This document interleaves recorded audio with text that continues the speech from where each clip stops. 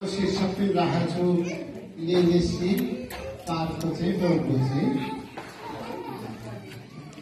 चाहिँ बगैँचाको प्रभु चाहिँ त्यो सत्य इतिहास थियो त्यो सुन्दर अस्ट्रेलिया देशको इतिहास थियो धुमधामसँग प्रभोज भयो अति महिमा भयो प्रभोजको सुन्दर दिन थियो स्वतन्त्र पालन भयो चेलाहरूसँग रोटी भाँच्नु भयो करार पार्नु भयो अङ्गुरको रस पिउ भन्नुभयो चेलासँग बस्नु भयो। रोटी मेरो शरीर हो भन्नुभयो अन्तिम दिन थियो जुन रात प्रभोज दिन भयो त्यो हाम्रै लागि थियो। यो सम्झना गर्दै गर भन्नुभयो वचन दिनुभयो जो परमेश्वरको वचन थियो त्यो सुनाउनु भयो।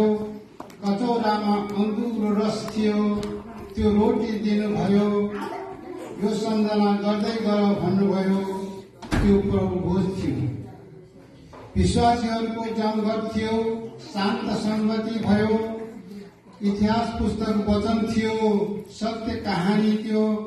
देश देशका विश्वासीहरू थिए आशिष भरिदियो पवित्र पुस्तकमा वचन थियो प्रचार गर्नुभयो। Аминь.